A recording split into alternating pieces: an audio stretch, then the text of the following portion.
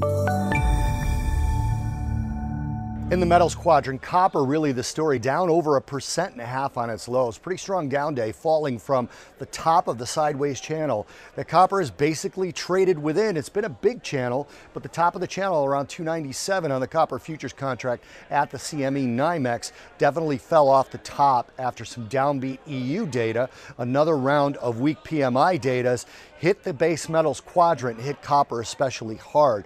Now on top of that, no news is really bad news when it comes to the the U.S.-China trade talks. Yesterday, we had strong Chinese economic data. We got a rally even up through the top of that channel, but we closed below it fell off of it today with no news either out of economic data from China's perspective or any talk optimistically or otherwise on the US China trade talks. No news seems to be taken as a pessimistic piece of news because the rhetoric has been all positive so that all quiet is viewed as negative, selling off in the, industri- uh, in the industrial metals complex, specifically copper. And then the dollar rally, we have that inverse relationship that I mention all the time between base metals and the US dollar. Copper is not immune to that. And we had the biggest jump for the dollar index in three weeks, with the dollar index jumping almost a half of 1% in toward the end of the day. All of this meaning weaker copper prices to close the holiday shortened week in the commodity complex.